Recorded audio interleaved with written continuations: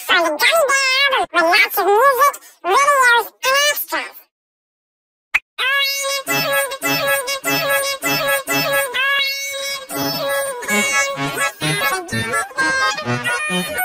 Thank you.